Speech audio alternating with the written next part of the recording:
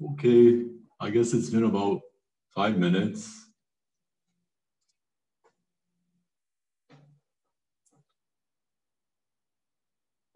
Okay, so let's um let's prove that our subgroup H is like the set of multiples of some integer.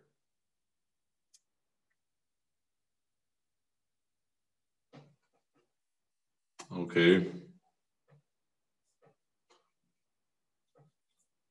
So let's do that.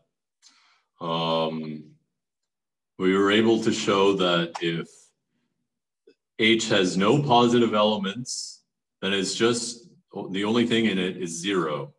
Okay, now we're supposed some positive elements.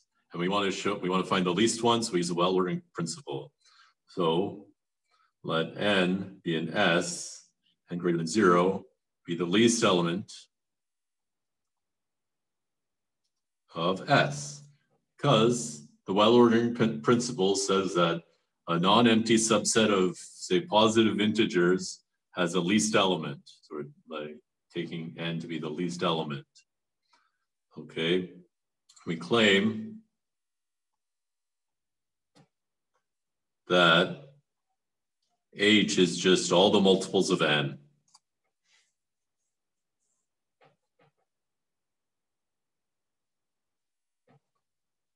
Okay.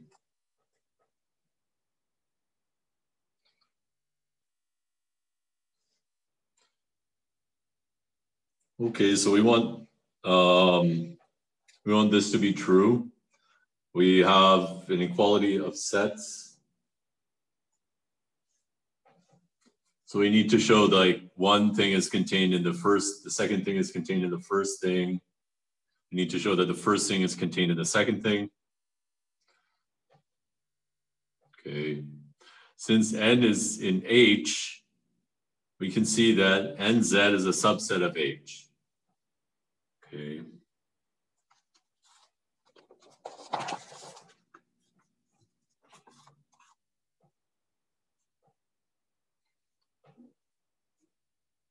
First, notice that n is in H, since S is a subset of H and S, n is in S. Um, so that tells us that 2n is in H. Well, 2n is just n plus n.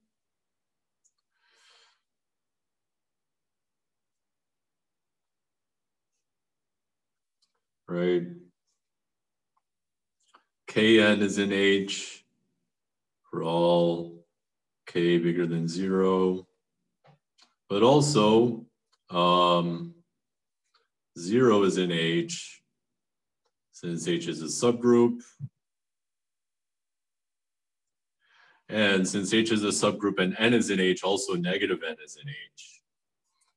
Minus 2N is in H, and so on. So all the multiples of N are in H. And that is just because N is in H and H is a subgroup. Okay. Multiple of N. So let's take uh, some element of H. Let's suppose that A is in H. Okay. The division algorithm says that we can divide A by N.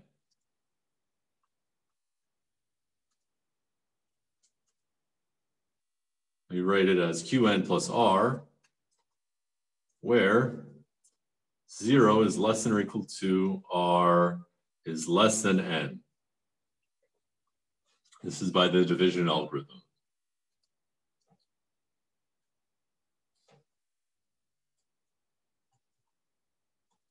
Okay.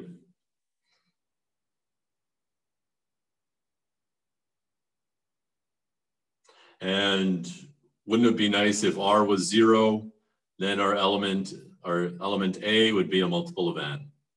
Okay.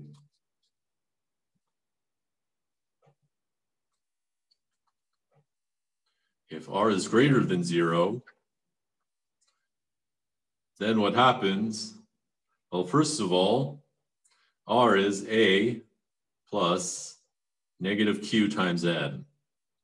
Now we already see that negative Q times N, that's in H, and A is in H. So H is a subgroup, so sum of the things in H is also in H, so R is in H. And R is also positive. So R is in S, because S is the positive things that are also in H. Okay. But R is in S, R is less than N, and N is supposed to be the least element of S. So the least element. But there's something smaller, that's bad. This is impossible. Well, this only happens if R is positive. Okay, so if R is positive, then we get some impossible thing happening. So R must be not positive, R has to be zero.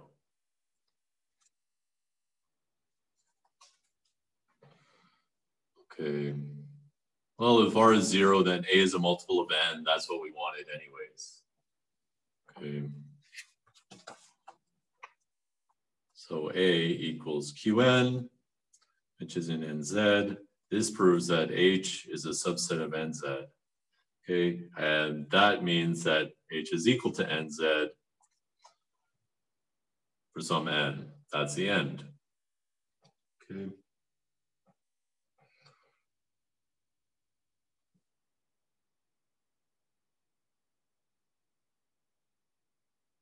Um, and because we're already talking about these subgroups,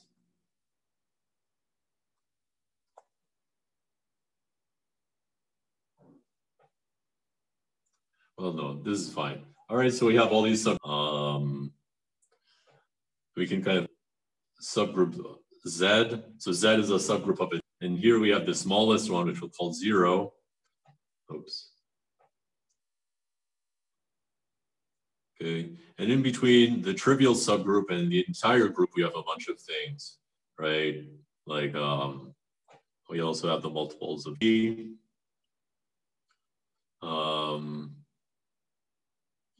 kind of smaller than the multiples of two is the multiples of four. So we can kind of order them by how they're contained in each other. Okay. And we also have the multiples of six. Notice the multiples, all the multiples of six are also multiples of three and two. So we have um, kind of subsets. So the the lines are going from like a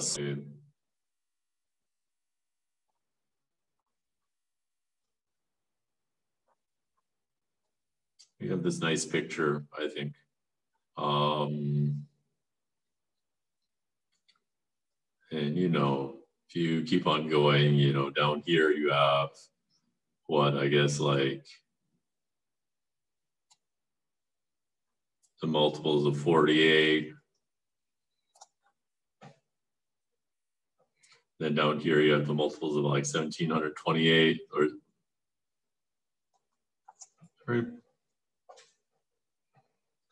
And it's a big, huge like web, I guess.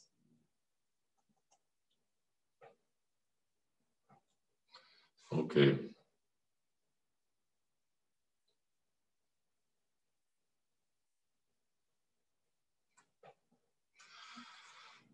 Okay.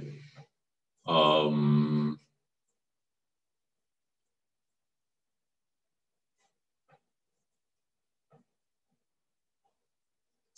okay, so this notation kind of gives us uh, a few things we need to talk about. Um, if we have a group and we take an element of the group, we can look at um, the group generated by the element or the subgroup generated by an element. Okay, so let's look at that now.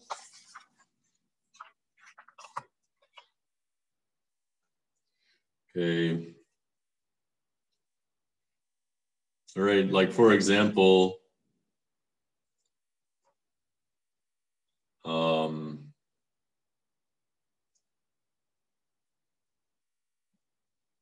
you know, the elements of 2z are just all the things you get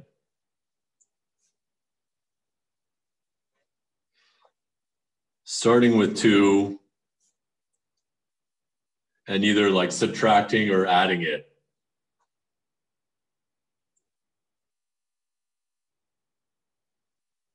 Subtracting or adding only twos. Okay, so what if we just have a group and we take an element of the group and we either do like, so our element is maybe G and we either do like G, G times G, G times G times G, or we do it the other way, like G inverse, G to the minus two and, and all like that. Okay, so we have a definition. Okay, let G be a group. The G be in G. The subgroup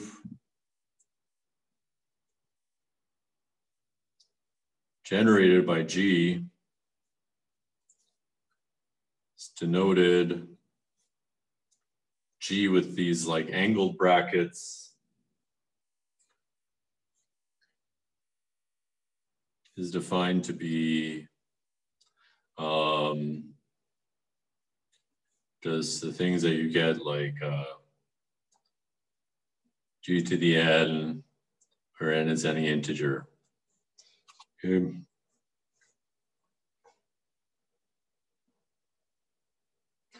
So, okay.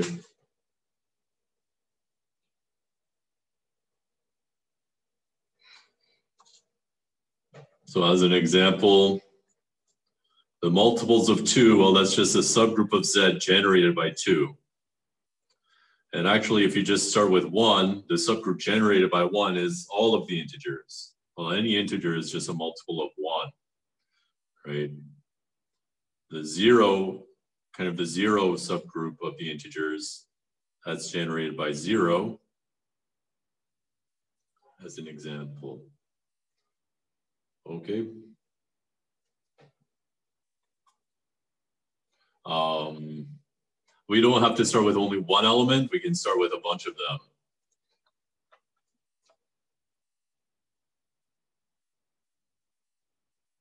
Okay.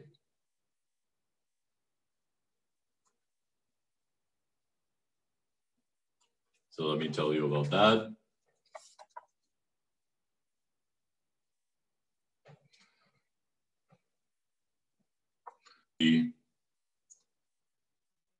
Then we define the subgroup generated by A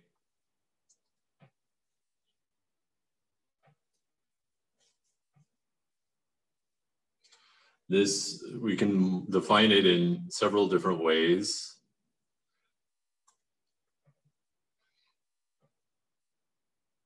Well, we can define it as like the set of all products of the form A1 to the E1, A2 to the E2, all the way up to AK to the EK, such that K is greater than or equal to zero, A1 up to AK are in A, and E1 up to EK are equal to either plus or minus one.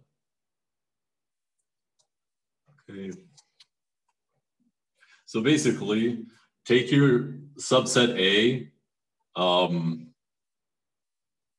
and multiply them all together, like taking inverses for some of them, and multiply them all together in all the different ways you can. And then that gives you a subgroup. Okay, this is called, A is a subgroup of G. called the subgroup generated by A.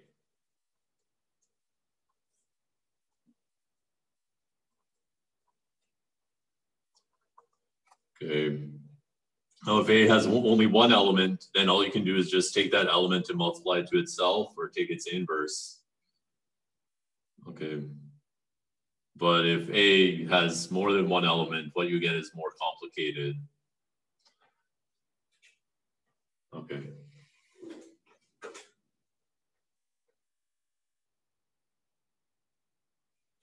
Um,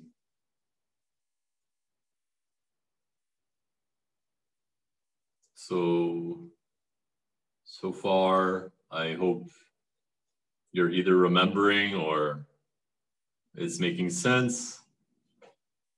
Um,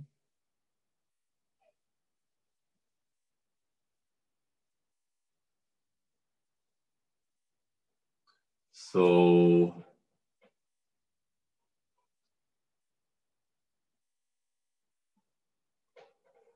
let me before so i think we're gonna have to take another break soon but before we do that um let's see like so we have this uh, bunch of examples like given by the integers of um let me at least remind okay of a group we have let n be positive, be a positive integer. Let the set Sn be the set of all permutations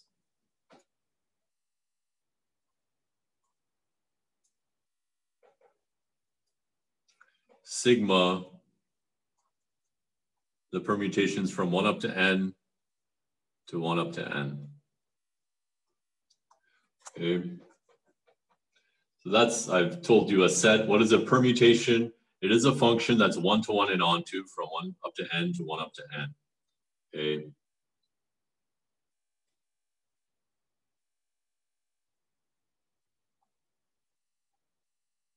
Here, permutation is another word for bijection.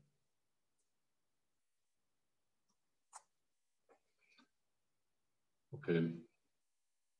And I also have to tell you how to multiply two permutations. Okay. If sigma and tau are both functions, permutations,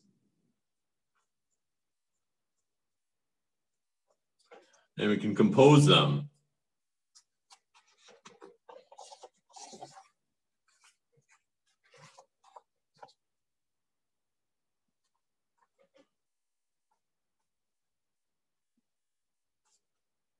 sigma of tau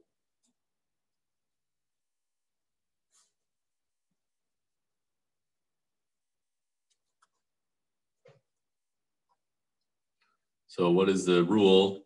Well, sigma tau of i, that's just sigma of tau of i. Okay, for all i and 1 up to n. Okay.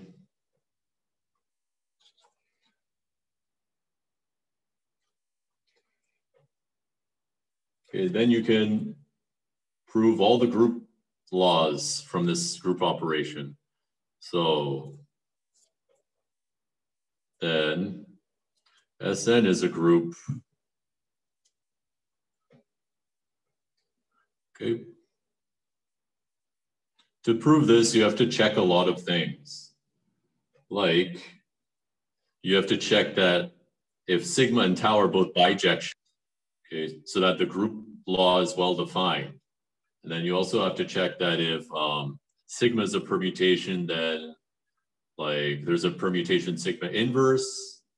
You also have to show that like sigma tau times omega is like you have to show the associativity law. You have to find the identity. Well, luckily, all that is not too bad. Okay.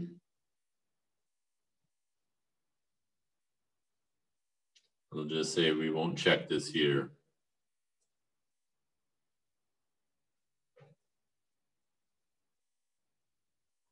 Okay. Well, we can do a little example. You can take n equals four. Okay, elements of S4. We'll represent them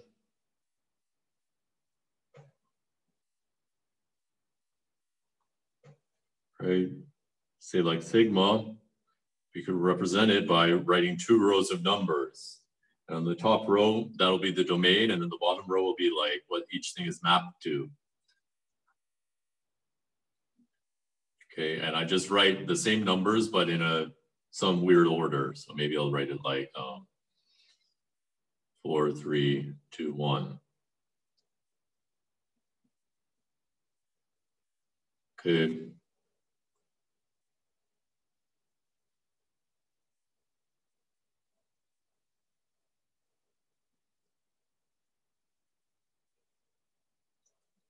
And maybe I'll have a tau. Maybe that'll be like one, two, oops. Like that.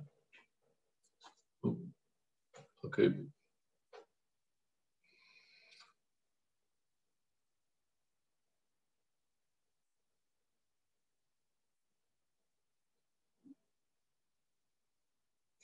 Okay, so now we can like find, um, you can find tau inverse and we can find tau sigma and stuff like that, right?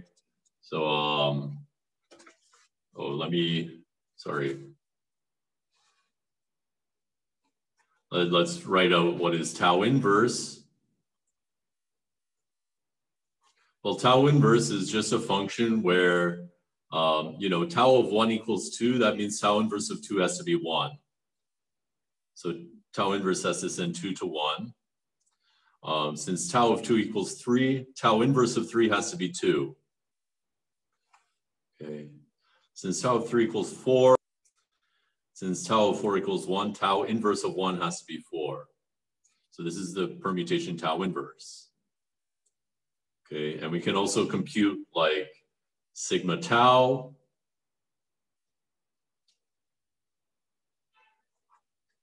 Okay, and what we do is we follow, we start at the top.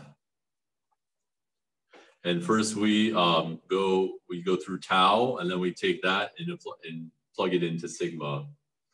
Okay, so like starting from one, tau of one is two, and then sigma of two is three. So sigma tau of one is three.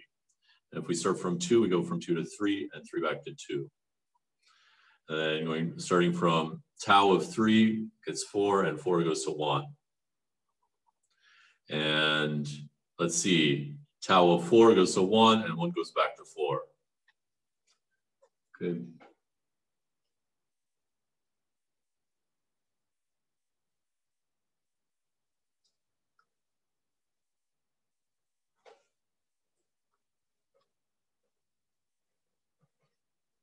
Okay, so we can find inverses, um, multiply things, and we have the identity.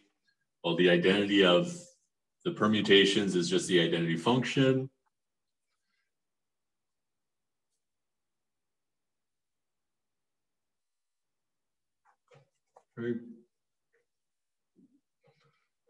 Okay.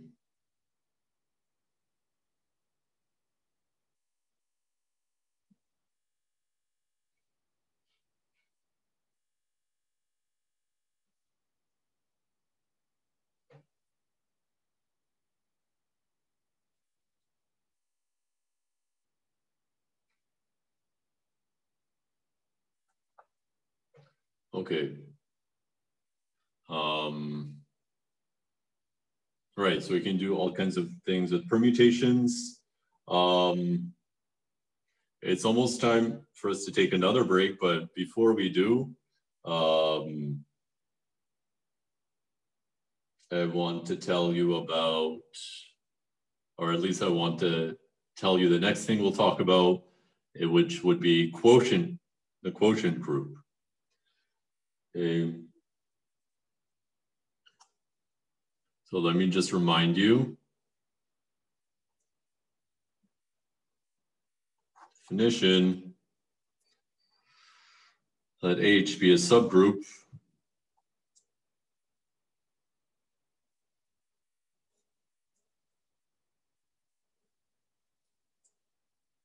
G, okay. Whenever I write less than or equal to, this means H is a subgroup of G.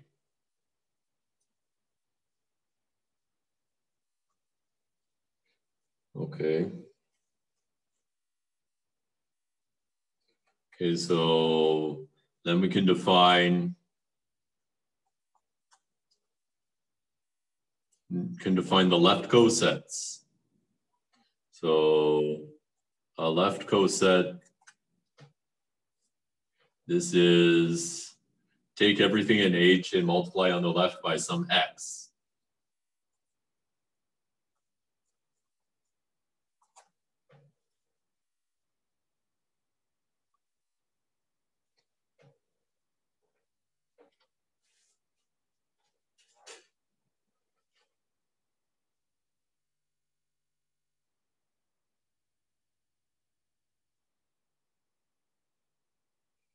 Um, this is a subset of G.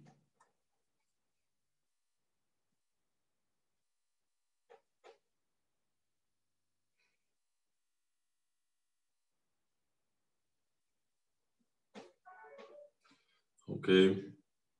And in fact, um, G is partitioned into left cosets. Um, so this is XH is called a left coset.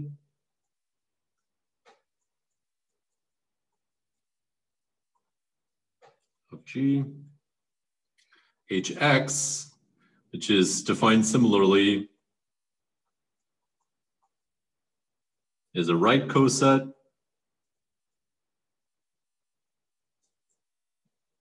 of G.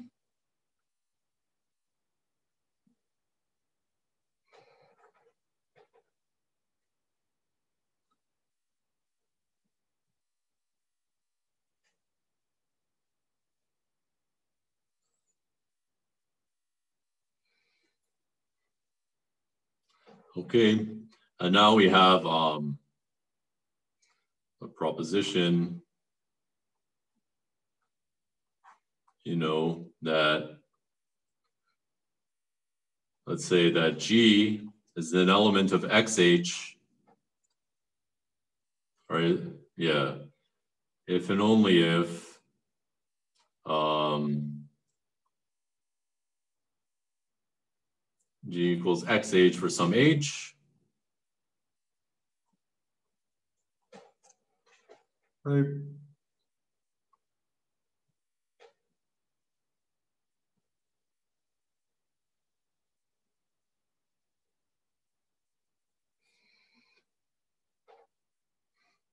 Maybe it's better if I don't have X's and G's. Maybe it's better if I replace this X with a G prime.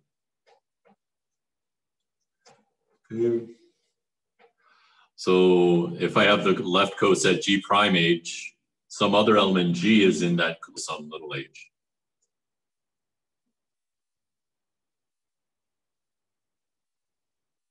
Okay, and in fact, you can show that this condition gives us an equivalence relation.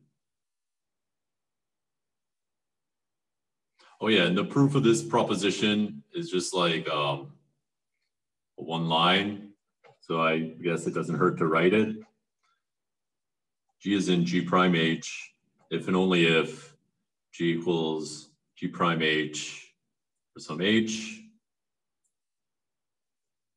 Because G prime H is all the things like first G prime, then some element of H. Okay. So essentially this proposition is comes right from the the definition of left coset. Okay. So now let's see that. Uh, so define equivalence or congruence mod H by G congruent to G prime mod H if and only if G is equal to G prime, or sorry, G is equal to G prime H for some H.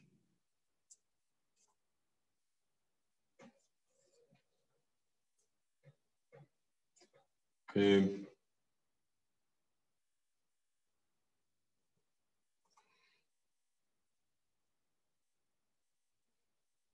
And then we have a nice theorem which tells us that congruence mod H is an equivalence relation.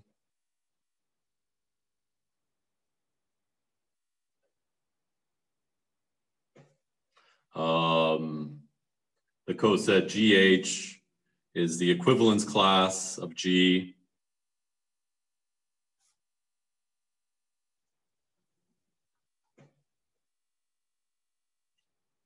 And um, well, since we have an equivalence relation, the left cosets are the equivalence classes. That means that the equivalence, the left cosets are a partition of G. Okay, so um, G can be written as the disjoint union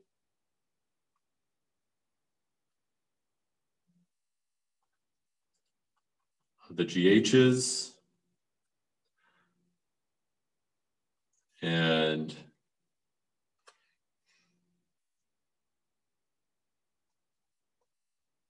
dis distinct left cosets are, uh, are empty.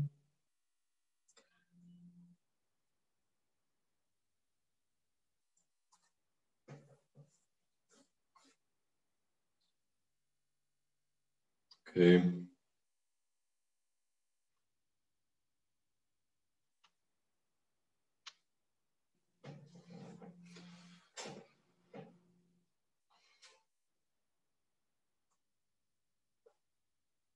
Okay, so let's take another five minute break. And then we'll come back and we'll have the last part.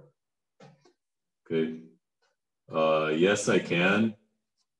But actually, I'm about to turn off this. Oh, that was probably too far. I will try to keep it more sent. I'm about to leave, but I'll just leave it where it is.